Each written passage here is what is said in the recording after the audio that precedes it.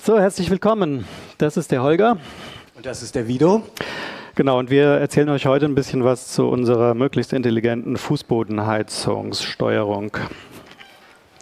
Also, wie sind wir zu dem Thema gekommen?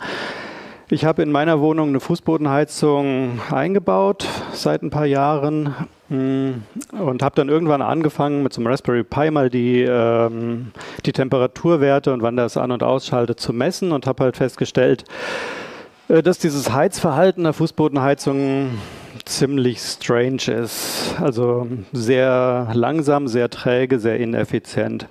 Und da kam dann die Idee, dass ich gesagt habe, okay, ähm, das würde ich mir gerne mal genauer angucken, was da auch an Optimierungspotenzial ist, also auch in Richtung Energieeinsparung und dass sich die einfach besser steuern lässt.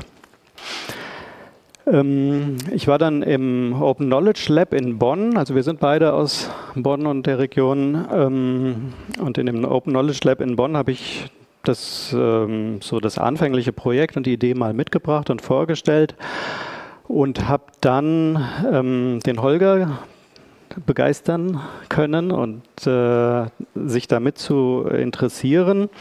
Und ab dem Zeitpunkt ähm, waren wir schon zwei, die jetzt an diesem konkreten Projekt gearbeitet haben. Wir hoffen, das werden nach dem heutigen Tage noch deutlich mehr. Hm. Und ja, die Idee ähm, ja, war halt dann nicht nur einfach so ein kleines lokales System bei mir zu Hause zu machen, sondern wenn wir das im Open Knowledge Lab machen, dann muss das natürlich auch Open Source und groß und modular und mit standardisierten Schnittstellen sein. Und ähm, ja, der, der weitere Grund, warum wir uns da zusammen mit beschäftigen, ist, dass wir einfach anhand von dem Beispiel auch eine Menge lernen wollen. Ne? Also wir haben hier ein IoT-Device, ähm, wir haben ein Backend in der Cloud, äh, wir haben ja, halt die Schnittstellen, wir haben die, ähm, die KI, ne, die die Daten dann bearbeitet. Und wir haben User Interface und das sind dann schon relativ viele Bausteine, ähm, wo es dann auch Sinn macht, dass äh, sich da mehrere Leute gemeinsam Gedanken dran machen.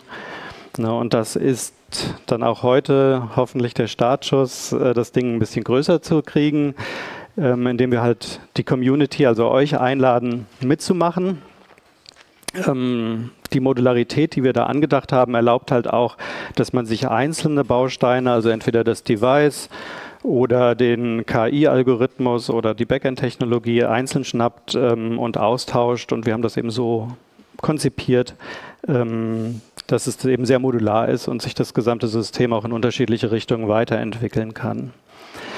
So, und sehr wichtig ist halt auch der Community-Aspekt. Deswegen, ähm, weil wenn wir da experimentieren und uns Sachen überlegen, ist es halt sehr wichtig, dass wir eine größere Anzahl an Daten haben und nicht nur mein kleines Klo als Datenraum haben, wo ich jetzt schon einen Prototyp installiert habe, so wie das äh, Modellhaus, was ihr hier vor mir sehen, äh, stehen seht, ähm, sondern dass wir halt da noch eine größere Anzahl von unterschiedlichen Raumcharakteristika, unterschiedlichen Häusern, auch Regionen finden, die man da an der Stelle analysieren kann. Jo. So, dann kommen wir zu dem Ding, was ist erstmal so eine Fußbodenheizung? Ich habe hier ein Foto ähm, ja, aus der Renovierungsphase, wo die ähm, Schläuche, durch die das warme Wasser aus der Zentralheizung gepumpt wird, ähm, zu sehen sind, bevor dann die dicke Estrichschicht da drauf gegossen wurde. Und das ist auch direkt Teil des Problems, weil dieser Estrich, der wird halt von diesen ähm, Warmwasserschlaufen aufgeheizt und der speichert die Wärmeenergie halt für eine sehr, sehr lange Zeit. Das ist mit ja, eben Kern des Problems dass die Energie da reinfließt, dann sehr lange eben in dem Fußboden gespeichert ist, sich langsam in den Raum ausbreitet ähm, ne, und dann eben auch sehr lange braucht, bis sie wieder abkühlt. So, wir haben hier die Steuerzentrale. Da laufen die ganzen Schläuche der einzelnen Heizschlaufen in der Wohnung zusammen. Man sieht ähm, auf der rechten Seite sind die Zu- und Ableitungen der Zentralheizung aus dem Keller. Und diese weißen Dinger, das sind die Stellmotoren, die, die, die Ventile, die jetzt jede einzelne Heizschleife auf und zu machen. Ne, das heißt, die können wir mit 220 Volt ansteuern. Ne, wenn man da Strom drauf geht, gibt, geht das Ding auf. Das warme Wasser fließt durch und wenn man es wieder abschaltet, hört es auf durchzufließen. So, dann ähm, ist das Problem, im Sommer können wir nicht arbeiten und testen, weil die Heizung da aus ist. Und das, das ist einer der Gründe, warum wir ein Modellhaus entwickelt haben oder gebastelt haben wo wir unseren Prototyp eingebaut haben. Und ich habe da viel rumexperimentiert. Ähm, ich weiß nicht, ob man das erkennen kann, aber ihr könnt auch vorne schauen äh, und später draußen. Ähm, was sehr gut funktioniert hat, ist ein Vintage-Bügeleisen. Weil sich das eben auch mit 220 Volt äh, aktivieren lässt, dann heizt und weil es äh, relativ schwer ist und eben diese Eisenplatte unten drin hat, wird da die Wärme auch gespeichert. Und das haben wir in unseren Tests gesehen, sehen wir gleich noch im Detail dass äh, sich das eben sehr, sehr gut eignet, um jetzt im Modellcharakter, also ohne störende Menschen in dem Haus, ähm, ja, das Funktionsprinzip unserer Algorithmen auszuprobieren. So. Genau. Und hier sieht man eigentlich, was wir haben wollen. Ne? Ähm, das obere ist sozusagen die Temperatur, die wir uns wünschen. Das heißt, wir hätten eigentlich am liebsten äh, beispielsweise um 6 Uhr, wenn wir aufstehen, zack geht die Temperatur hoch und wir haben es irgendwie angenehme, naja, oder sehr warme, vielleicht 25 Grad in der Morgenphase, dann äh, über den Tag bin ich nicht da, da senkt er sich ein bisschen ab und äh, am Abend heizt er vielleicht nochmal hoch und geht dann später wieder in die Nachtabsenkung. Ähm, und wie der Vido gesagt hat, das ist ein träges System. Also das ist irgendwie wie so ein, wie so ein Schiff oder Tanker kann man sich das eigentlich vorstellen, wo man eigentlich schon viel früher anfangen muss zu steuern, bevor der irgendwie eine Kurve fährt und dann übersteuert der halt. Und das sehen wir eigentlich auch in den, in den Grafiken. Das heißt, was passiert, wenn ich um 6 Uhr sage, okay, meine Temperatur soll hochgehen, der braucht eine ganze Zeit ähm, bis der sozusagen überhaupt auf die Temperatur kommt. Und ähm, dann schalte hier ja aber erst ab und damit übersteuert der. Das heißt, die Temperatur, die Energie, die schon in dem System drin ist, die wird noch abgegeben. Damit wird es zu heiß. Ähm, dann geht er wieder runter. Hier geht er auch natürlich eigentlich viel zu spät runter, zirkuliert so ein bisschen um die gewünschte Temperatur rum. Und im Endeffekt, dieses Ding, das wollen wir, wollen wir optimieren und äh, da bessere, bessere Ergebnisse reinkriegen. Genau. Also im Idealfall sollte es so aussehen, der fängt halt früher an zu heizen, vielleicht schon eine Stunde vorher, ähm, sodass ich dann ähm, zum Beispiel um 6 Uhr die gewünschte Temperatur habe. Ich kann durch äh, geschicktes, ähm, ja, äh, die Haltephase im Prinzip verbessern, indem ich da immer nur kurze Heizwellen reinschicke, also so, so Heizimpulse, damit ich da nicht so eine ganz starke Zirkulation um die gewünschte Temperatur habe. Ähm, Genau, und die beiden Punkte hatte ich jetzt eigentlich schon gesagt. Rechtzeitig anfangen zu heizen und rechtzeitig auch wieder aufhören zu heizen, damit man diese äh, Überheizphasen hm. nicht bekommt. Genau, so der Vortrag strukturiert sich jetzt in diese fünf Bereiche. Ich werde erstmal ähm, ein bisschen was über das IoT-Device, über den Mikrocontroller erzählen, dann äh, das Backend beschreiben, dann übernimmt Holger und wir reden über weitere Sensoren und Eingabedaten sowie die KI-Engine und das Nutzerinterface. Okay, ähm, so jetzt habe ich hier mal ein Breadboard mit einem Prototyp zum Basteln äh, fotografiert. Da seht ihr die Komponenten. Also ganz auf der rechten Seite ist jetzt hier ein ESP 8266, also so das günstigste, was man da benutzen kann. Kostet so um die 6 Euro. Ähm, das ist der Mikrocontroller, da sieht man die WLAN-Antenne. Ne, das heißt, der kann sich mit dem Internet verbinden. Dann links daneben ist der Temperatursensor. Das ist auch ein sehr schöner, ziemlich präziser Sensor, den wir da haben. Ähm, der ist angeschlossen. Links davon das Relais, das den Stellmotor ansteuert. Ich hatte ja eben gesagt, dass die brauchen 220 Volt, um auf und zu zu gehen. Ähm, und das Relais ist halt dazu da, um den kleinen Steuerimpuls aus dem Mikrocontroller quasi wie einen Schalter zu äh, bedienen, sodass das Relais an- und ausgeschaltet wird und dann die ähm, Stellmotoren bei den Ventilen aktiviert werden. Dann haben wir dann noch ein kleines Display dran. Äh, da wird angezeigt, ne, was die aktuelle Temperatur und die äh, aktuelle Wunschtemperatur ist. Und zum Schluss haben wir noch einen Drehknopf, wo man an dem Device selber nochmal die Wunschtemperatur ändern könnte. So einen Arduino programmiert man in äh, C++. Ähm, gibt auch Alternativen. Äh, die Standardentwicklungsumgebung ist halt die Arduino IDE. Alternativ kann man da auch ein Visual Studio Code nehmen mit einer entsprechenden Erweiterung. Ähm, der Mikrocontroller, den ihr eben gesehen habt, der hat halt viele Pins.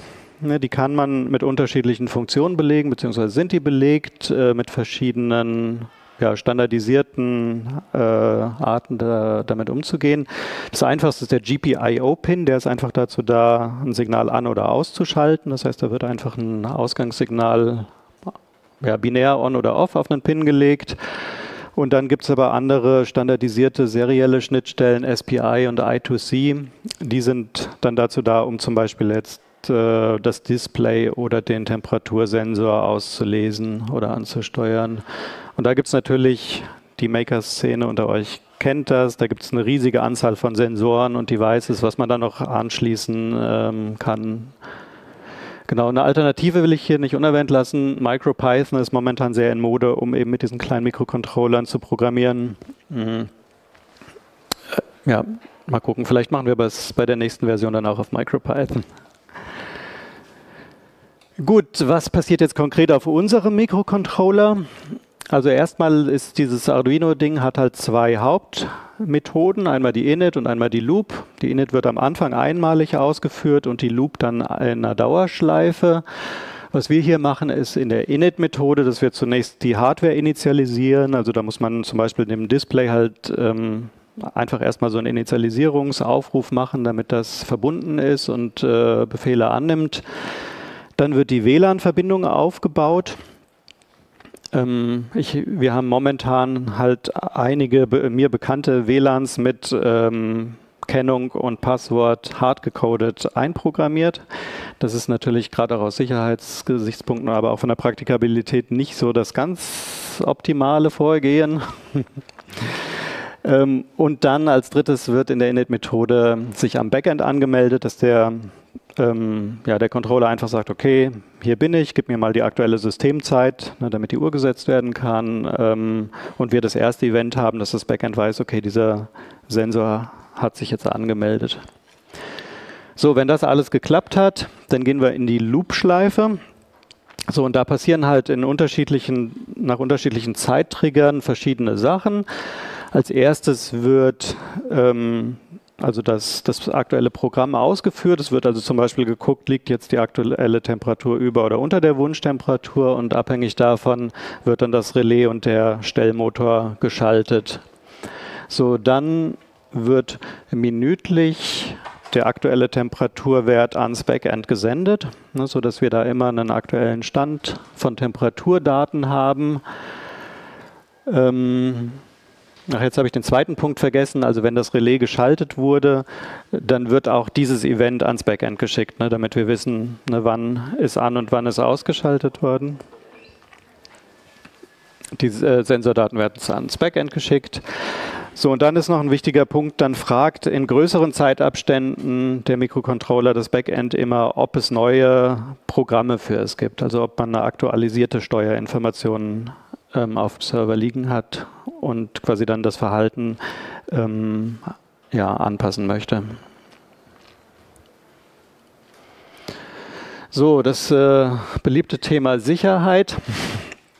Also da haben wir ganz viel Optimierungspotenzial. Ne? Wir sind ja auch Work in Progress. Ähm, da laden wir natürlich auch gerne die Spezialisten ein, äh, sich da mit zu beteiligen und ähm, ja, uns da weiterzuhelfen. Derzeit haben wir halt das, ähm, die Verbindung mit dem heimischen WLAN hart gecodet.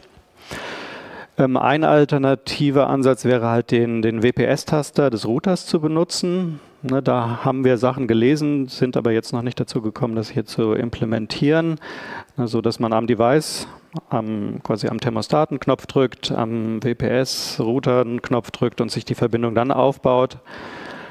Ähm, eine weitere gängige Methode für so Mikrocontroller-Dinger ist, dass wenn die zum ersten Mal starten und noch nicht, noch keine Verbindung zum Internet aufbauen können, dass sie selber einen WLAN-Hotspot aufbauen, mit dem man sich dann über ein Laptop oder Handy verbinden kann, ein sehr einfaches User-Interface präsentiert bekommt, über das man dann die Credentials, die Anmeldedaten für sein ähm, heimisches WLAN eintippen kann.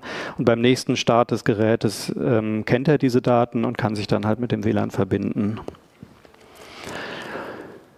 Genau, dann ähm, nächste Sicherheitsfeature ist, dass wenn sich unser, also jedes von diesen Devices hat eine eindeutige ID.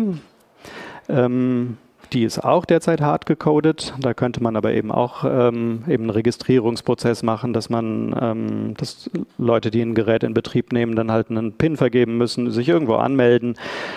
Im Endeffekt bekommt das Gerät eine eindeutige ID, mit der es sich dann an das Backend anmeldet und das Backend ähm, akzeptiert dann halt nur Anfragen von bekannten Devices. Ja. So, die ähm, Kommunikation passiert aktuell SSL verschlüsselt über HTTP. Ähm, das heißt, die, der Datentransport ist an der Stelle verschlüsselt. So, ich warte aber auch händeringend darauf, dass der ESP32S2 rauskommt. Der sollte eigentlich schon eine Weile ähm, verfügbar sein. Ich habe aber noch kein Gerät in die Finger gekriegt. Und das ist eben eine Erweiterung ne, des aktuellen äh, ESP32, der spezielle ähm, Sicherheitsfeatures, also hardwaremäßig auch äh, eingebaut hat. Also da bin ich schon sehr gespannt drauf und will das gerne ausprobieren. Ne. Da wird dann zum Beispiel der interne Speicher verschlüsselt. Wir haben einen äh, Krypto-Baustein, der halt von der Hardware vom, vom, Prozessor des äh, Geräts getrennt ist. Ne, und das Ding kann RSA-Signaturen erzeugen. Sehr spannend. So, dann gehen wir rüber zum Backend. So, wir haben derzeit ähm, also ein Webservice, REST-basiertes Backend ähm, in der Microsoft Azure Cloud serverless implementiert. Das heißt, wir haben da ähm, jeweils eine Azure Function als HTTP-Endpunkt, ne, der dann die äh, REST-Calls entgegennimmt. Das heißt, das Thermostat ähm, ja, schickt äh, Daten eben an diese Sensor Data API, an die Event API und an die Programs API, beziehungsweise holt sich Daten aus der Programs API ab. Das sind dann die Steuerkommandos. Ähm, dann gibt es ähm, ein User Interface, das äh, mit der User Programs API spricht. Na, also da jetzt zum Beispiel dann im Tagesverlauf die gewünschten Zieltemperaturen ähm, definiert und drüber schickt. Die ganzen Daten landen auch in einem ähm, SQL-Server, der auch auf Azure läuft. Mm. Und genau eine weitere Schnittstelle ist noch die API-Learn-Schnittstelle, auf die dann die KI-Engine zugreift, um die ganzen Daten zu analysieren, ähm, sich eventuell auch in Echtzeit neue Programme oder Anpassungen ausdenkt und die dann wieder an die, ähm, die Device-Programme zurückschickt. So, das ist der ganz grobe Aufbau vom Backend. Wie gesagt, wichtig ist uns an der Stelle, dass wir die Restschnittstellen halt standardisiert haben, sodass falls irgendjemand jetzt ähm, äh, Azure als Plattform fürs Backend nicht bevorzugt, dass es äh, relativ einfach wäre, da jetzt komplett diesen Backend-Teil auszulagern und anders zu implementieren. Genau, aber ich, also das ist halt der Bereich, in dem ich unterwegs bin, in dem ich mich am besten auskenne ähm, und der auch in dem Fall jetzt sehr, sehr günstig ist. Also diese Azure Functions und die SQL-Datenbank, ähm, die kosten in unserem Setup jetzt keine 2, 3 Euro im Monat. Das ist schon ganz cool. So, hier noch ein Blick auf die Datenbankstruktur. Ne, das ist quasi Standard, ähm, Standard SQL-Aufbau. Äh, Wir haben hier eine Tabelle in der Mitte mit den Devices. Ne, da steht einfach nur die Device-ID drin und noch eine Area-ID, die gibt an, in welchem Raum ähm, sich das Device befindet. Wir haben noch ein paar mehr Tabellen, was eher so das Räume ähm, ja, und, und Hausmanagement betrifft, was dann auch vielleicht Schnittstelle Richtung Heimautomatisierungssystem sein könnte. Die habe ich jetzt hier nicht aufgeführt. Das ist jetzt das, was wir in dem quasi in der Kernfunktionalität benutzen. Also die Devices haben eine Tabelle, dann gibt es äh, die User Programs. Ähm, da wird definiert, wann der Benutzer es wie warm haben will. Ähm, das sieht man jetzt hier in der Tabellenstruktur nicht direkt. Also hier sieht man äh, bei Program, das ist im Prinzip dann ein langes Stringfeld, in dem jetzt ein JSON-formatiertes Programm reingeschrieben werden kann. Also das haben wir extra so generisch gelassen, damit wir da halt flexibel sind, um da die Strukturen ändern zu können. So, auf der rechten Seite haben wir die Device-Events, auch mit einem Timestamp und äh, was für ein Event da passiert ist. Auch das ist wieder einfach nur ein String, ne, um da auch alles Mögliche reinschreiben zu können. Ähm, dann haben wir die Programs. Das ist dann ähm, in Abgrenzung zu den User Programs, wo der Benutzer sagt, was er haben will, steht in den Programs drin, was an das Device geschickt wird, was der Mikrocontroller dann interpretiert und in sein Schaltmuster umsetzt. Ne? Hier haben wir dann auch so Sachen wie Program Text, was einfach das Programm beschreibt, ob es gerade aktiv ist, von wann bis wann es gültig ist. Und der große Teil, also das eigentliche Programm, steckt dann auch wieder in einem großen Stringfeld äh, Program Content. Das ist dann wieder ein dicker JSON-String, in dem eben diese ganzen Steuerbefehle und Konfigurationsdaten und so weiter drinstehen. So, Sensor Data, das ist die Tabelle, in die dann die ganzen Messwerte reinfließen ne, und damit verknüpft es dann nochmal eine Datenbank mit den einzelnen Sensoren. Ja, that's it. So, jetzt möchte ich gerne nochmal einen kleinen Blick auf den Source Code gewähren. Also hier sind wir jetzt in C-Sharp unterwegs ähm, und sind jetzt in einer Serverless Azure Function mit einem HTTP-Trigger ähm, und äh, der Verbindung zu der SQL-Datenbank. So, ich hoffe, es sind genug äh, Programmierer hier, dass sich das lohnt, hier einen Blick reinzuwerfen. Also wir haben hier die ähm, Run-Post-Methode. Da wird spezifiziert, dass es ein HTTP-Trigger ist, der diese Funktion anstößt. Äh, da gibt es auch andere Triggerarten wie einen Timer-Trigger oder einen Storage-Trigger ne, der dann getriggert wird, wenn in irgendeiner Tabelle ein Datensatz landet. Ähm, wir sehen, dass das äh, auf einen HTTP-Post reagiert und bekommen das Objekt HTTP-Request reingereicht. iLogger, also das ähm, Logger-Ding ignorieren wir jetzt mal. Da wird hier eine Statusinformation einfach weggeloggt. So. Und dann gehen wir in den Stream Reader Request Body. Das heißt, wir holen uns, in dem Fall ist es ja ein HTTP Post. Das heißt, in dem Body steckt äh, wieder jetzt der JSON-String drin mit dem Event. Also in, in dem Fall ist es ein Sensor Data Event. Da steht also drin Timestamp, Sensor ID und der Wert, der übermittelt wird.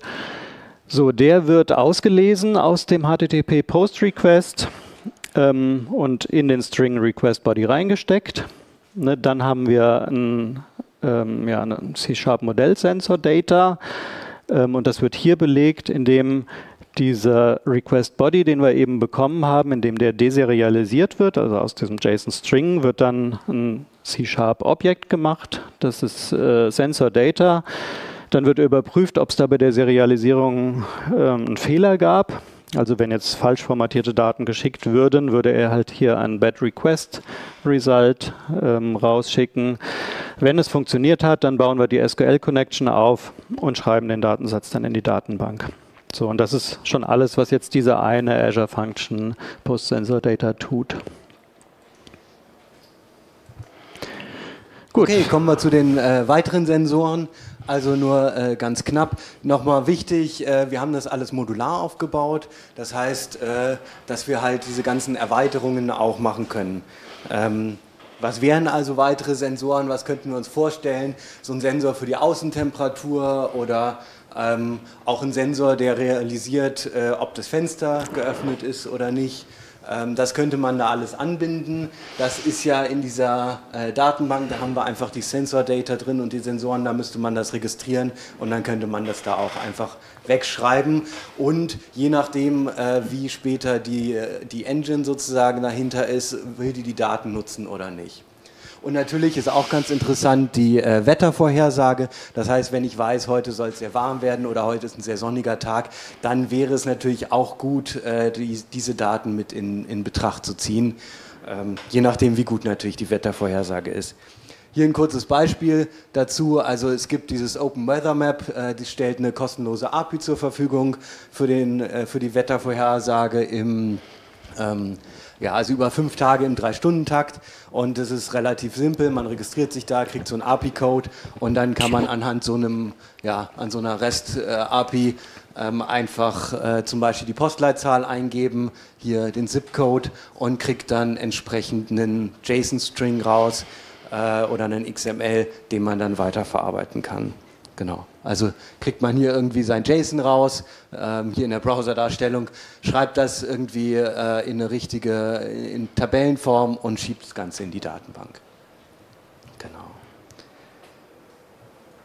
Okay, das aber nur ganz knapp zu den weiteren Sensoren.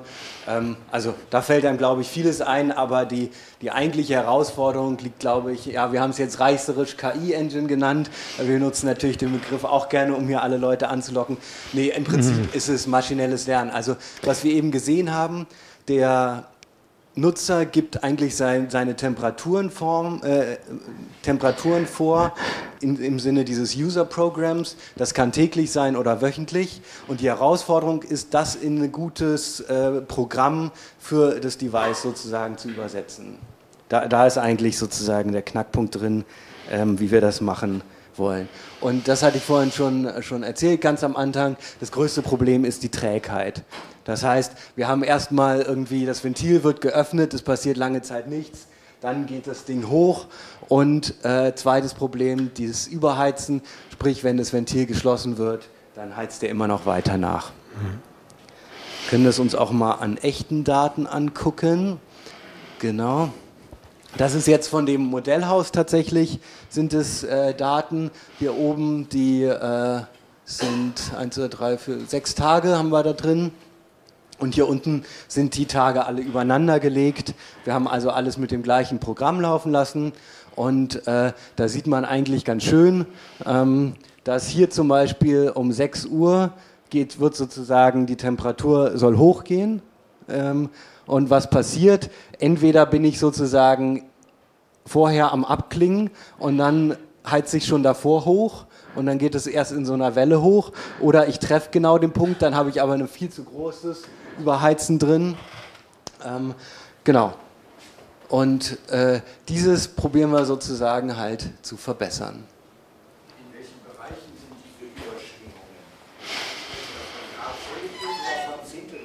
Nee, nee, Grad Celsius. Also ja. bei dem Modellhaus haben wir tatsächlich, hier sind 30, ist ein bisschen klein, und hier sind 35 Grad. Also es sind durchaus äh, drei, vier. Hm. Ach so, ja, ich soll die Frage wiederholen. Also ähm, sehe ich gerade. Ja. Ähm, also es ging darum, in wie, welchem ähm, Bereich sich diese Temperaturschwankungen befinden. Und die sind durchaus sehr, sehr ordentlich. Also ja. ähm, in dem Modellhaus sind wir zwischen 30 und 35 Grad hier zum Beispiel. Das heißt, da haben wir irgendwie ein Delta von, von 4 mhm. Grad oder sowas bei ja. der echten Heizung. Genau, also in meiner echten Messung habe ich auch gesehen, dass das auch Bereiche von, von bis zu 3 Grad sind, in denen das überschwingt. Also man hat immer diese kleine, den Triggerwert, ne, wo es dann, wo die Heizung anschaltet, ne, und dann geht das äh, durchaus zwei, drei, vier Grad hoch und dauert eben auch extrem lange, bis es dann wieder abfällt. Ja. Also wir haben das zum Beispiel hier. Ähm, wir haben ähm, 0,2 Grad drunter, dann springt dieser Trigger an, also vom normalen Thermostat. Das heißt, wenn wir hier unter die 30 Grad sinken, dann heizt er auch nur ganz kurz, also bis zu von 29,8 bis zu 30 Grad und der heizt halt trotzdem hier bis 33 sozusagen hoch. Mhm. Genau. Und deshalb funktioniert genau. quasi so eine normale Thermostatregelung nicht. Wir haben auch ein bisschen mit so einem PIT-Regler äh, rumgespielt. Da haben wir aber auch bisher noch keine, keine guten Ergebnisse hm. hinbekommen. Genau, und das entspricht im Prinzip auch dem Verhalten von einer herkömmlichen ähm, Thermostatsteuerung. Na, auch wenn man da. Nee?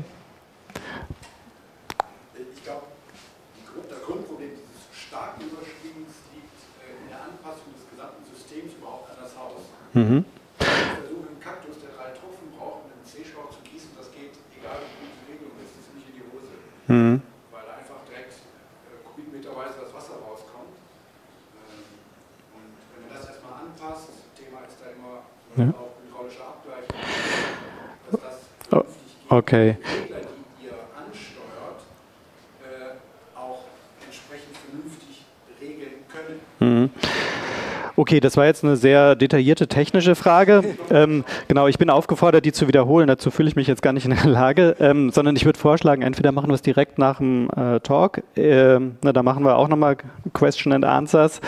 Ähm, und sonst können wir die nächsten zwei Tage da auch gerne noch sehr intensiv drüber sprechen. Also sind wir auch sehr interessiert, ne, was es da noch für Erkenntnisse und Meinungen gibt über das Grundheizverhalten ähm, von solchen Fußbodenheizungssystemen. Das ist natürlich ganz komplex. Wir haben hier absichtlich äh, abstrahiert und vereinfacht, versuchen eben auf dem Weg eine Verbesserung hinzukriegen. Ähm, aber sehr spannend, da nochmal über andere Details zu sprechen. Gut.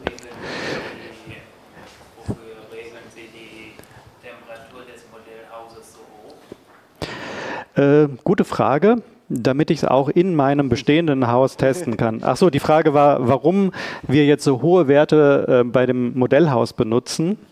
Genau, und das ist einfach ein praktischer Grund, ähm, um es testbar zu machen, weil ich habe das Haus ja in meinem Zimmer stehen. Da sind dann auch, äh, weiß nicht, zwischen 20 und 25 Grad Raumtemperatur. Ne, das ist quasi die Außentemperatur des Modellhauses, ist die Innentemperatur in meinem Zimmer, beziehungsweise habe ich es jetzt in den Keller gestellt, weil es da ein bisschen konstanter und kühler ist. Ähm, Gerade jetzt, als es so heiß war, war das nämlich sonst, hätte ich hier auf 80 Grad hochheizen müssen. Hm. Genau, also die Außentemperatur des Modellhauses ist dann schon 25 Grad und dann muss ich halt auf 30 Grad gehen als Wunschtemperatur, damit er überhaupt anspringt. Ja, aber das Prinzip ist ja das gleiche. Okay? Okay, machen wir mal weiter mit der, ist an, mit der Engine. Ähm, genau, also worum geht es im Prinzip? Äh, das ist eigentlich ein ähm, relativ simples, äh, simplen Output, den wir haben wollen bei diesem maschinellen Lernen. Nämlich wir wollen eigentlich nur sagen, zu einem bestimmten Zeitpunkt macht das Ventil an oder aus. Das heißt im Prinzip der, der Output von so einem Modell müsste einfach nur an oder aus zu einer gewissen Zeit sein. Wir haben allerdings kein klassisches Klassifikationsproblem, also sowas wie irgendwie, wir wollen auf Bildern ähm, Hunde von Katzen unterscheiden. Warum haben wir sowas nicht? Weil wir keinen Datensatz haben, der sozusagen die richtigen Labels drin hat. Ne? Also bei dem Hund-Katze-Beispiel, da ist normalerweise ein großer Datensatz dahinter. Ähm, an dem hat man so ein Modell trainiert und da gibt's halt, sind, sind die einzelnen Bilder halt gelabelt, ja, da ist ein Hund drauf, ja, da ist eine Katze drauf. Ähm, das haben wir hier nicht, sondern äh, wir wissen ja sozusagen nicht, was ideal wäre. Da müsste man es erst wieder richtig alles äh, simulieren, um, um zu finden, äh, um das Ideal zu finden. Wie machen wir das? Wir, wir benutzen eine Bewertungsfunktion. Ähm, das heißt, wir wollen einfach die äh, die Differenz zwischen der gewünschten und der tatsächlichen Temperatur nehmen wir, die wollen wir ja minimieren. Und äh, das im Laufe des Tages, das heißt, wir aggregieren einfach über den Tag auf und ähm, schauen uns halt diese, diese Differenz an. Das heißt, ähm, ja, beim Tagesprogramm Aggregation über den ganzen Tag. Ähm, dann können wir noch uns überlegen, wollen wir äh, die die Überheizphasen genauso bewerten wie die, also wo die Temperatur zu warm ist, genauso bewerten wie äh, wenn die Temperatur zu kalt ist? Oder wollen wir das vielleicht unterschiedlich gewichten? Also vielleicht sind wir sehr energiesparsam und sagen, nee, bloß nicht zu warm. Ähm, darf nie über diese Temperatur kommen. Genauso können wir uns noch überlegen, wollen wir die äh, Sprungpunkte, also zum Beispiel, wenn ich es genau um 6 Uhr so und so viel Grad haben will, äh, soll ich das stärker gewichten, dass diese wirklich wirklich eingehalten werden. Ja, und was macht man normalerweise? Man nimmt einfach den mittleren quadratischen Fehler. Also wir nehmen die äh, tatsächliche Temperatur TI, ziehen davon die vom äh, Nutzer, also User Temperature ab, quadrieren das Ganze und äh, summieren halt auf und, und bilden quasi das Mittel. Ähm, das Ganze noch unsymmetrisch gemacht mit diesen Faktoren Alpha und Beta, das ist, was ich vorhin gesagt habe, mit äh, Untergewichten und Übergewichten. Hier dieses Max und Min heißt einfach nur, wir nehmen halt den positiven oder den negativen Anteil davon. Und ja, mit den Sprungpunkten, da habe ich jetzt die Formel nicht hingeschrieben, aber man kann natürlich sozusagen checken, ist es an den Sprungpunkten, dann kommt noch ein weiterer Faktor dazu.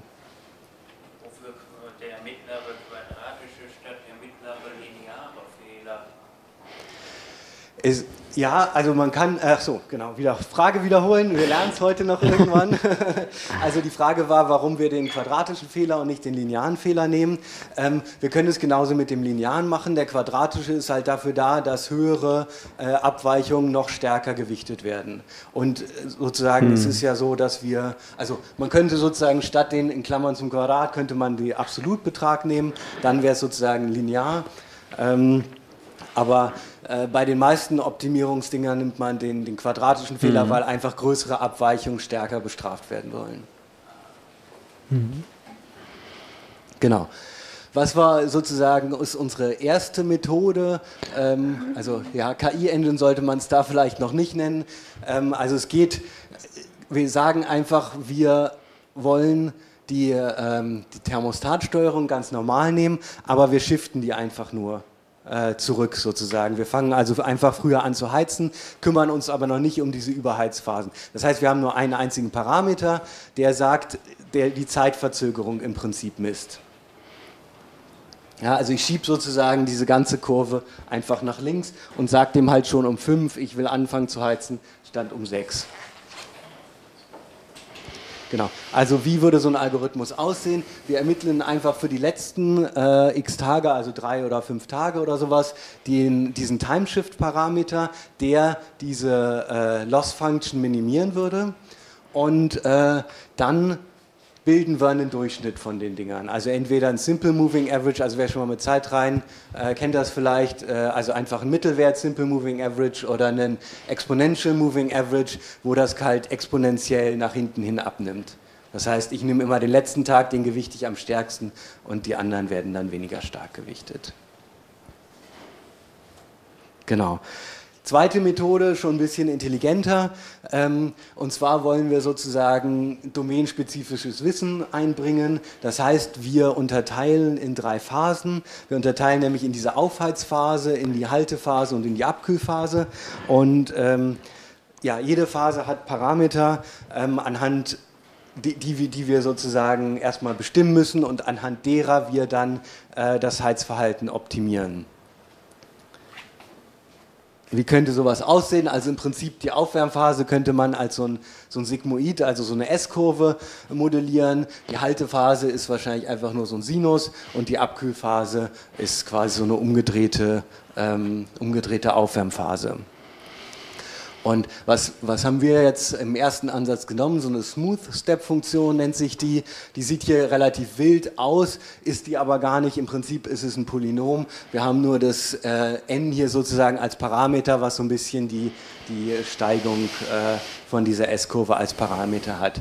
Dann haben wir noch Parameter, A, B, C und D, die sozusagen das Ganze skalieren. Also die normale Funktion ist zwischen 0 und 1. Also hier ist 0 sozusagen, hier ist 1 und auf der y-Achse genauso. Und äh, bei der Temperatur würden wir sozusagen die y-Achse an das Temperaturdelta anpassen und äh, die x-Achse ans Zeitdelta.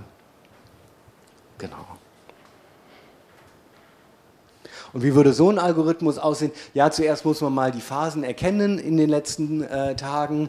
Äh, wann war eine Aufwärmphase? Da kann man natürlich sehr gut äh, einfach die, die Device-Events auslesen. Das Device sagt mir nämlich, da habe ich angefangen zu heizen, da habe ich äh, aufgehört zu heizen. Ähm, dann äh, finde halt die Parameter, die sozusagen diese drei Phasen am besten für diesen Raum äh, beschreiben, also quasi eine Raumcharakteristik finden und ähm, dann halt entsprechend wieder die, die Heizung, diese, diese Loss Function minimieren. Genau. Und Ausblick, äh, wo, wo, ich gerne hin will, ist das Ganze äh, über Reinforcement Learning machen. Also Reinforcement Learning ist gerade so, so, ein bisschen Trend in der äh, KI-Forschung. Aktuell machen die das so mit äh, Videospielen, also so alte Atari-Spiele, ähm, wo sozusagen man quasi einen Agenten hat, der sich in einem, auf einem gewissen Feld äh, bewegen kann und der kriegt quasi auch über die Punktzahl so eine Art Loss-Function oder eine, eine, Belohnungsfunktion und der probiert da halt so lange rum, bis der sozusagen die, die Pfade findet. Das wäre also quasi ein neuronales Netz, was man da hinten aufbauen würde und äh, würde das dann mit, einfach nur mit Outputs äh, an und aus, ausmachen. Aber das ist noch ein bisschen Zukunftsmusik. Dazu müssen wir erstmal die ganze, ganze Infrastruktur und das ganze Zeug, dass das sauber läuft, ähm, hinkriegen. Genau. Ähm, Im Prinzip braucht diese, diese äh, Engine nur, zu, also die funktioniert auch über eine REST-Schnittstelle. Ähm, und hat eigentlich nur zwei Funktionen, nämlich zum einen, wenn ein neues User-Programm angelegt wird, dann muss sie natürlich anspringen und entsprechend das Programm auf dem Device äh, verändern, also in der Datenbank.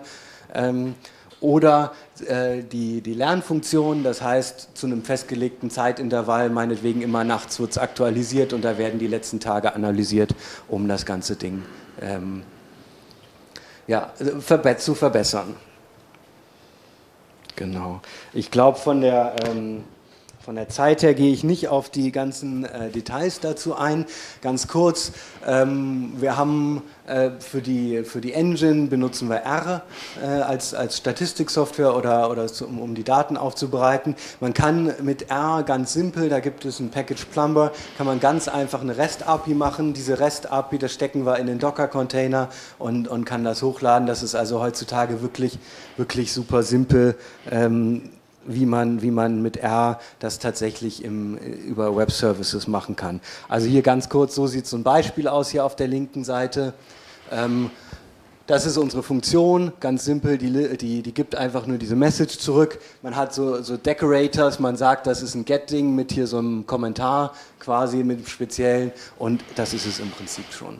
Und dann, dann startet man das ganze Zeug. Also wirklich, wirklich super simpel, ähm, damit mittlerweile sowas zu machen.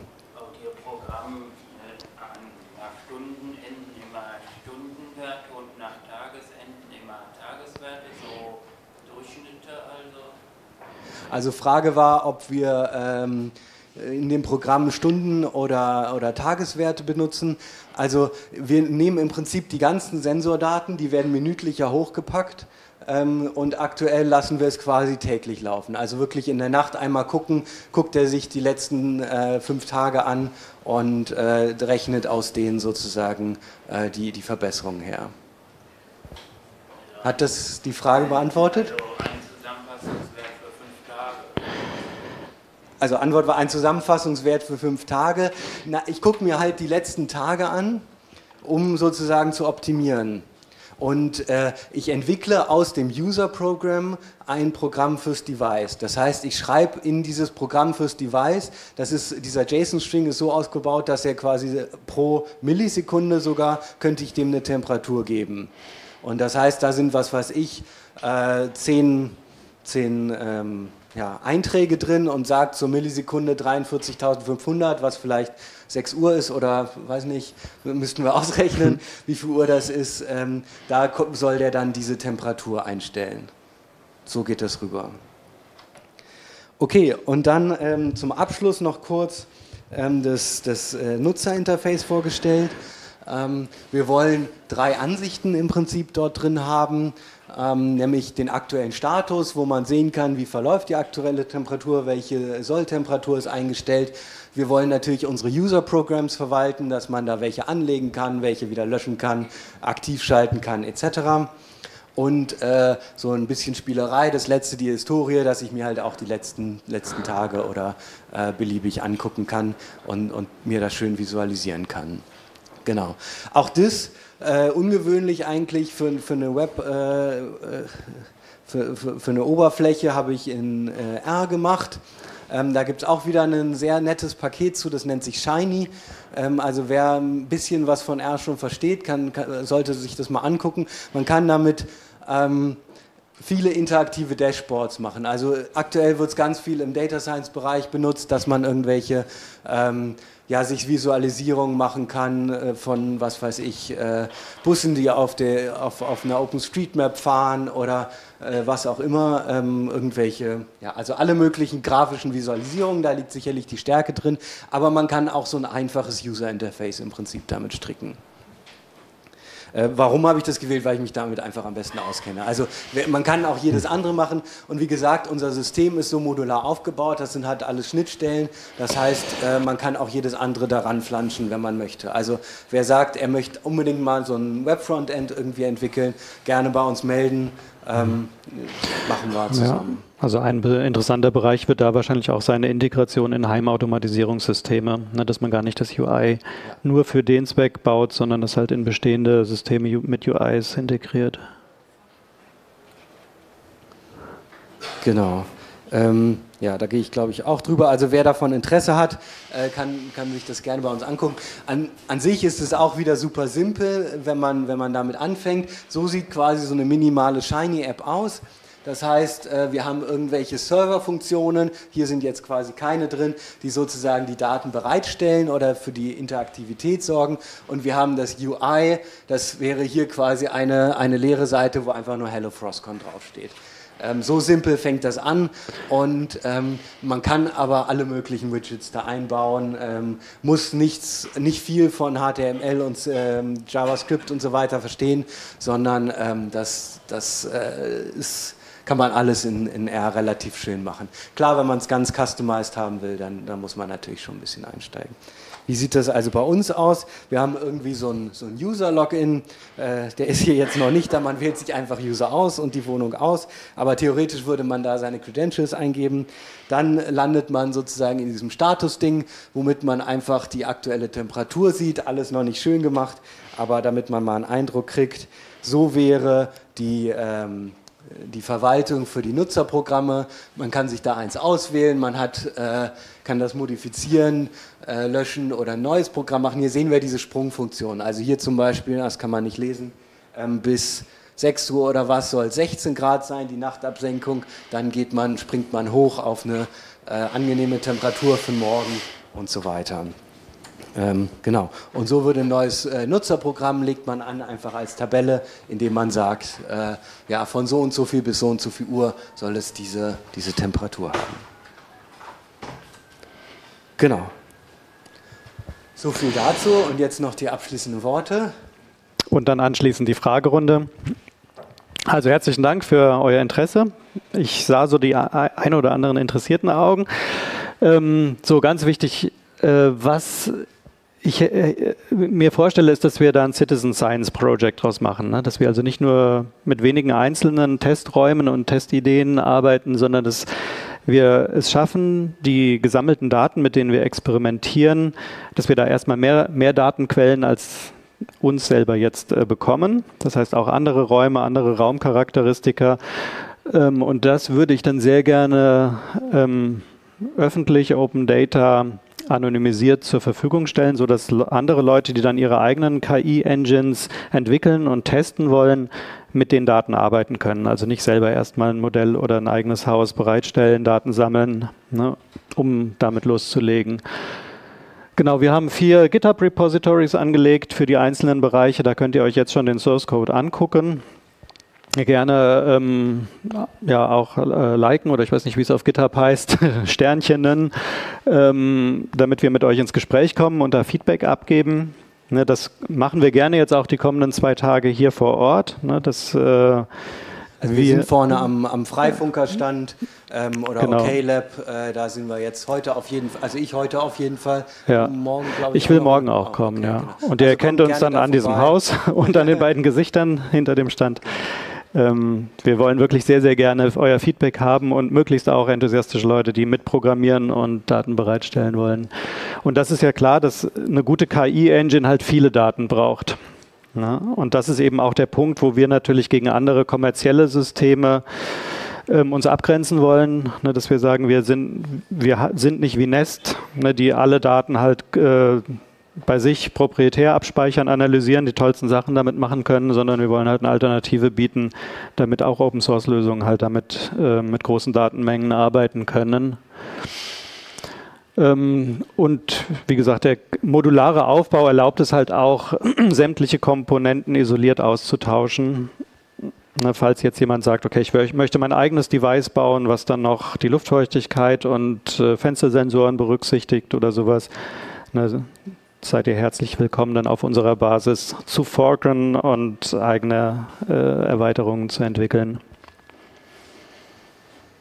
Danke, Holger. Ja. danke erstmal, euch. Erstmal danke euch für die Aufmerksamkeit. Ähm, wir sind auch auf Twitter, da sind unsere Handles, also einfach äh, uns da kontaktieren oder wie gesagt hier am Stand. Und hier nochmal die, die GitHub Repositories. Ich muss gestehen, äh, da habe ich leider noch nichts hochgeladen, das mache ich aber äh, heute oder morgen spätestens. Ja. Drei von den vier haben wir gestern erst angelegt. also es ist Work in Progress, ähm, aber ja, genau. Ja. Nee, wir hatten vorher schon ein anderes GitHub-Repo, wo alles zusammen reingeklatscht und unstrukturiert war, aber das wollen wir halt jetzt auch zum Anlass nehmen, da ein bisschen mehr Struktur reinzubringen. Fragen? Genau, wir haben hier ein Mikrofon, damit wir nicht ja. erstmal ähm, die, damit wir nicht immer die Fragen falsch äh, wiederholen. Ähm, geht das Mikro? Das geht. Stellt ihr euch für das Banner? Ja. beide drauf? Alles klar.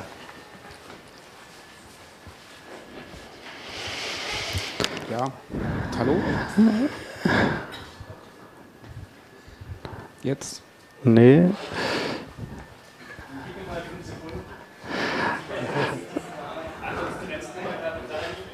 Magst du kurz runtergehen mit dem Mikro? Achso, sonst hm. nimmst du einfach erstmal das Mikro kurz. Erstmal danke für den schönen Beitrag und das nette Projekt. Meine Frage wäre, habt ihr schon mal mit klassischen modellbasierten Regelungsverfahren das probiert? Das wäre so in Richtung Modellidentifikation und ähm, modellprädiktiver Regelung. Haben wir noch nicht gemacht. Ähm, weil wir uns in dem Gebiet eigentlich noch gar nicht auskennen. also äh, im Endeffekt wollten wir gerne alles so ein bisschen selbst machen erstmal.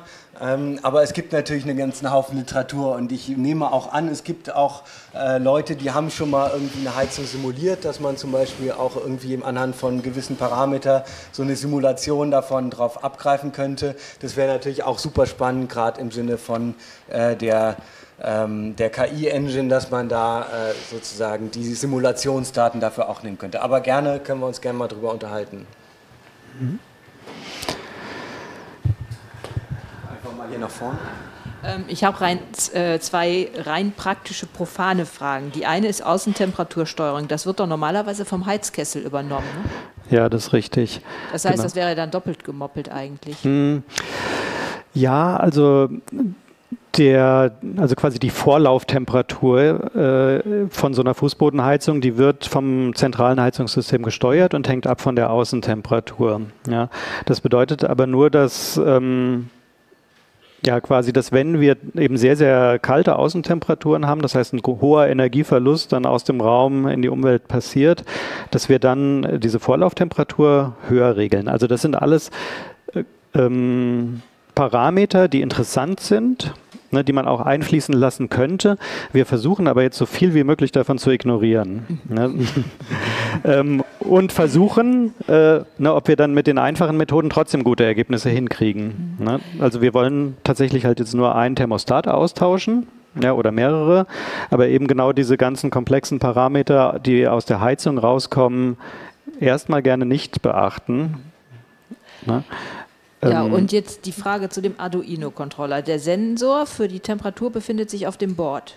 Nee, das heißt, ist eine externe kleine Platine, die an das Board angeschlossen ist. Ja, okay. Das heißt, man hat also nicht in jedem Raum einen Arduino-Controller, sondern irgendwie, weil normalerweise ist das ja bei einer fertigen Fußbodenheizung so, dass man mhm. da irgend so einen Fühler an der Wand hat, der schnell abbricht mit so einer komischen Flüssigkeit drin und dann so ein Kabel, was zu dem, mhm. was zu den äh, Thermostaten geht. Wie wird dann da dieser Arduino-Controller angeschlossen? Mhm. Wird er an diese Raumfühler ja. angeschlossen? Das ist eine interessante Frage, die habe ich gestern auch gerade noch diskutiert. Ähm, also momentan machen wir es tatsächlich so, dass ein Arduino mit Relais und Temperaturfühler und Display in jedem Raum hängt. Ne? Das heißt, es äh, von dem, von dem Thermostat, dem neuen, geht quasi nur die 220 Volt Leitung äh, zurück in das Steuerzimmer, wo die ganzen Kabel zusammenlaufen und steuert da die, ähm, die Sensor oder die Ventile ja, die Stellmotoren.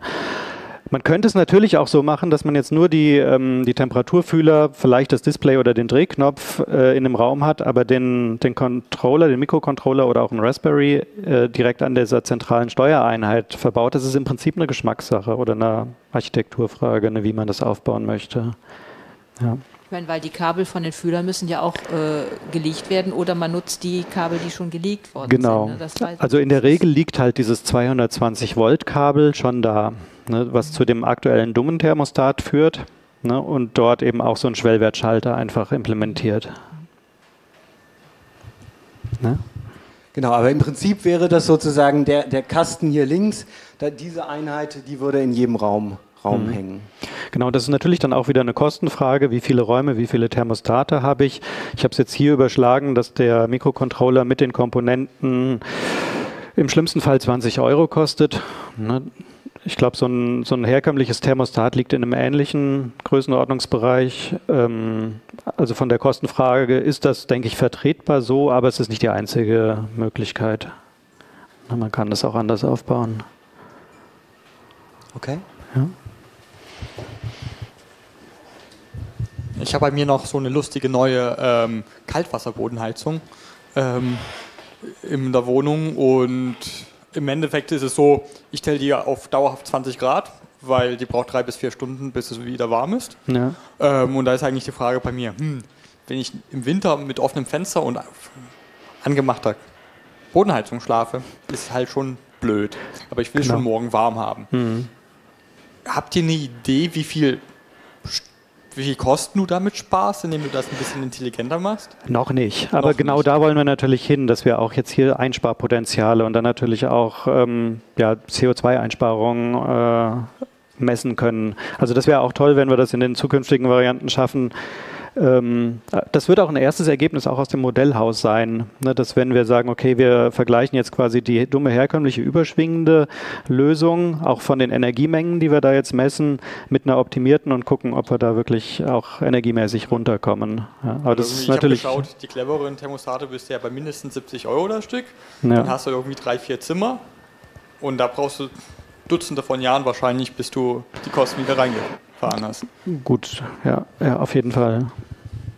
Genau, aber es ist vielleicht noch, das hatten wir nämlich gestern diskutiert, ähm, so ein Haus, ein modernes Haus hat ja auch den, den äh, Energieausweis und da gibt es ja auch so eine Kilowatt pro Stunde, ähm, äh, Kilowattstunde äh, pro Jahr. Pro Quadratmeter oder sowas. Genau, pro, ne? das, ja, pro Jahr und Quadratmeter. Ähm, und mhm. die, den könnte man vielleicht auch als Richtwert erstmal nehmen. Mhm. Mhm. Ist das ohne Rücksicht auf die Außentemperatur? Frage war, ist es ohne Rücksicht auf die Außentemperatur? Da sind, also ich bin da überfragt, weißt du mhm. was zu, zum Energieausweis? Meinst du jetzt den Energieausweis oder unsere ähm, Ideen?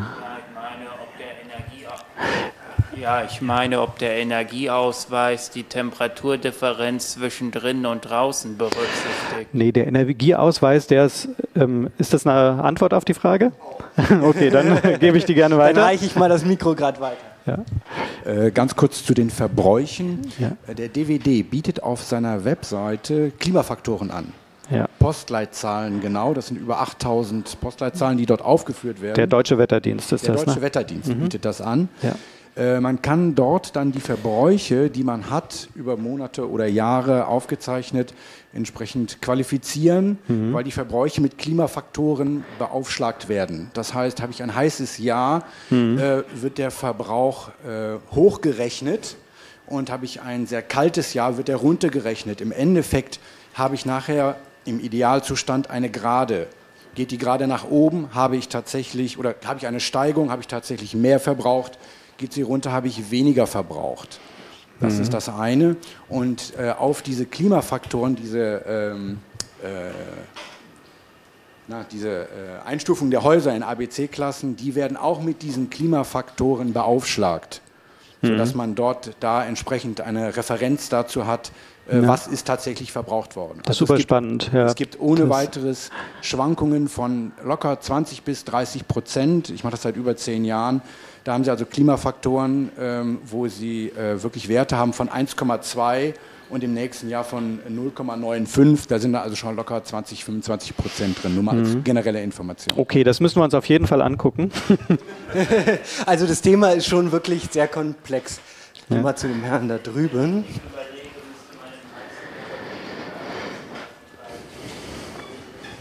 So, so. Also, hallo. Was, was macht ihr eigentlich, wenn das Internet ausfällt? Habt ihr da ein Fallback? Oder wenn, oder wenn in eurem Programm ein Fehler drin ist, mhm. Habt ihr Was? Hä? Wie bitte? In eurem, wenn, wenn in eurem Azure-Programm, hallo, wenn in eurem Azure-Programm ein Fehler drin ist, ja. Das, das der, ist so der, einfach, da passieren keine der, Fehler. Hm. Habt ihr die auf Fehler kontrolliert? Habt ihr, habt ihr Fehlertests gemacht? Nein. Ja, dann kann es ja sein, dann könnte es ja sein, dass das mal irgendwann unendlich ausrechnet und was macht dann ja. eure Heizung? Nee, also die, die erste Frage finde ich ein bisschen realistischer als die zweite. Was machen wir, wenn das Internet ausfällt? Im Moment gar nichts. Ähm, aber der Plan ist natürlich, dass wir auch im, äh, im Mikrocontroller dann einen Puffer haben. Ne? Das heißt, dass er die Ergebnisse, wenn die Verbindung abbricht, zwischenspeichert und später dann in einem Schwung äh, zusammen hochlädt. Wenn der Controller abstürzt, äh, ist das natürlich auch weg. Ne, das sind alles so praktische Fragen, die kommen dann später. Und mit der, mit der Mit der Sicherheit nee, ist es natürlich auch so eine Sache. Genau. Also bei dem Haus ist es natürlich tatsächlich relativ äh, gefährlich, wenn so ein Bügeleisen hier auf dauerhaft an ist. Ähm, mhm. Bei einer Fußbodenheizung, ja, wenn ich weg bin, ist es äh, im Zweifelsfall viele Kosten, aber die wird natürlich nicht unendlich heiß. Also mhm. so eine mhm. Wassertemperatur, was ist das, 35 Grad oder sowas, äh, die da durchläuft, genau. das ist jetzt nicht so, dass da alles in Flammen aufgehen wird. Hier bei dem Ding habe ich schon Live-Bilder gesehen, wo es angefangen hat zu gucken. Also da ist es natürlich natürlich durchaus, ja. durchaus eine Sache. Da seht ihr, ich setze sogar mein echtes Haus aufs Spiel, ne, um das auszuprobieren. Ähm, man könnte es vielleicht noch komplexer machen. Also es gibt ja auch noch weitere Heizungen im Haus. Zum, es gibt ja noch weitere mhm. Heizungen im Haus, wie zum Beispiel, ähm, wenn ich jetzt also in der Küche bin, der Herd, der auch Energie Absolut. abgibt und dann mhm. auch heizt. Ob es sinnvoll wäre, auch noch einen Sensor halt dann halt dran zu machen. Oder wenn ich im Bad bin, mhm. da bin ich dann interessiert, halt sehr schnell halt Wärme zu bekommen. Ich habe einen Heizstrahler. Ob das auch noch halt sinnvoll wäre, das zu berücksichtigen mit weiteren Sensoren. Mhm. Ja, also das ist, darf ich antworten? Ja, ja, ähm, genau, das ist auf jeden Fall ein sehr, sehr spannendes Thema, was im Prinzip jetzt der nächste logische Schritt sein wird, wenn wir ähm, hier quasi im Modellhaus angefangen haben, so Kennzahlen von einzelnen Räumen zu errechnen. Ne, die werden in einem echten Raum, im echten Haus nicht so schön glatt aussehen wie die Kurven, die ihr da gesehen habt.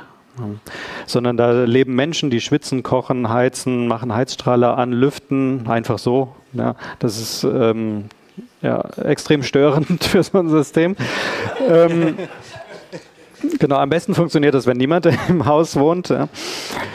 Ähm, Genau, aber auch da, also das sind dann auch so von der Datenanalyse halt sehr spannende Fragen. Schaffen wir das dann, wenn wir über die letzten paar Tage mitteln, dann trotzdem äh, die aktuelle gute Kennzahlen für einen Raum rauszurechnen? Oder finden wir dann halt anhand von äh, unrealistischen Sprüngen, ähm, können wir dann identifizieren, wenn ein Fenster geöffnet wurde oder der Kamin angefeuert, ähm, und ja. schaffen es dann, die zu ignorieren. Genau, also ja. das, das, haben tatsächlich auch schon viele von den kommerziellen Herstellern, die haben die ähm, die, die können detektieren, ob das Fenster auf ist oder nicht. Also insofern, mhm. das sollte nicht allzu schwer sein, indem man einen rapiden Temperaturabfall hat. Ähm, wahrscheinlich einen Kamin kann man auch relativ gut einfach anhand der Daten rauskriegen. Mhm. Ansonsten müssen ja, wir das, natürlich... Das Kochen zum Beispiel dann auch, wenn gleichzeitig die Luftfeuchtigkeit mit ansteigt. Also da kann man Pattern erkennen genau. und dann halt sagen, okay, in dem Fall dann bitte jetzt nicht direkt hochheizen. Aber natürlich müssen wir auch gewisse Entrausch-Algorithmen noch draufhauen. Also ja. ein äh, bisschen Überlegung ist, ob man da mit, mit Fourier Transformation so ein paar niederfrequente oder hochfrequente Dinge rausmachen kann. Ähm, das müssen wir aber noch ein bisschen genauer uns anschauen. Da gibt es sicherlich auch die Experten, die, die mit diesen äh, Systemen zu tun haben, die da schon, schon einige Ideen haben. So, da sind noch zwei Fragen. Genau, wir laufen jetzt so langsam schon in die Mittagspause rein. Ja, nur, nur das heißt, ähm, wenn jemand Hunger hat, dann geht er bitte jetzt. Alle anderen bleiben bis zum Schluss. genau, für die Aufzeichnung ist es egal. Ähm, Vielleicht ist es schon am Anfang gesagt worden, das weiß ich nicht ganz genau. Ist Wir warten ganz kurz, bis sich das beruhigt hat, würde ich sagen. Ja.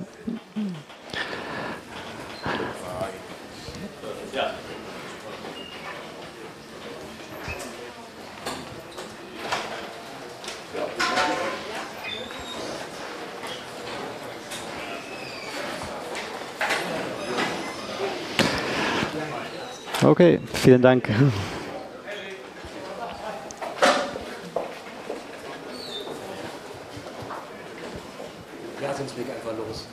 Okay, also die Frage ist, ähm, mhm. ist das denn jetzt schon im Echteinsatz und äh, ist da jetzt, ist das Ziel erreicht worden? Das wäre jetzt, äh, das weiß ich jetzt.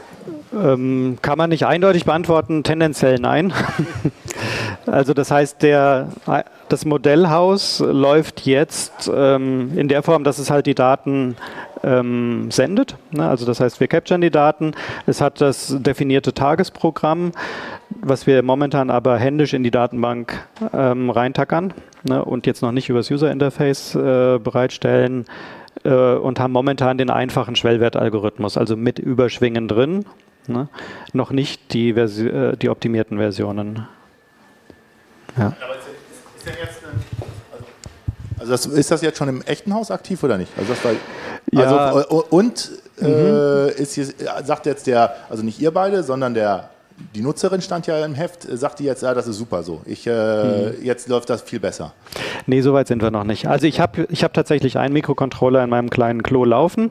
Der läuft aber noch auf einem anderen äh, Stand, als ich äh, vorher den PID-Algorithmus, also so einen Regelsteueralgorithmus, mal ausprobiert habe.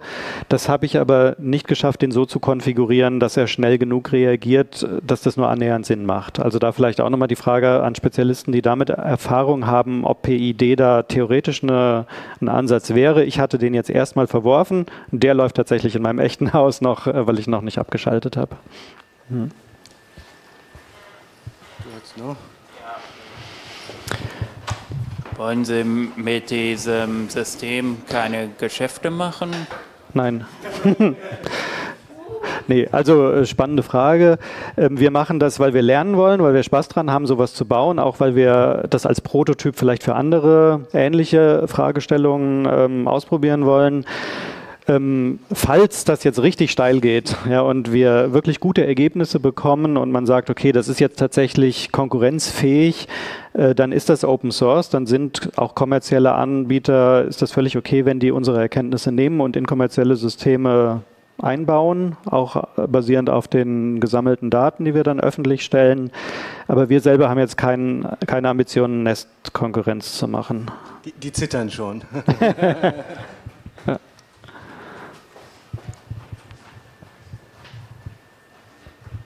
Ich habe jetzt gelernt, ihr lernt in der Cloud und habt am Ende ein Lernergebnis. Ist das Fernziel irgendwann, dieses Lernergebnis in den Mikrocontroller zu stecken oder einen Parametersatz in den Mikrocontroller zu stecken, dass der irgendwann autark wird? Oder wird es immer so sein, dass, ich sag, nenne es jetzt mal die hm. Cloud, äh, Steueranweisungen an den Mikrocontroller gibt und sagt, was zu tun ist? Also vermutlich ähm, also ich glaube, auf so einem kleinen Mikrocontroller kriegen wir das nicht hin, da einen vernünftigen Algorithmus Also ich finde das eine sehr interessante Frage. Ich würde es nicht mit Nein beantworten, okay. sondern mit Ja vielleicht. Super.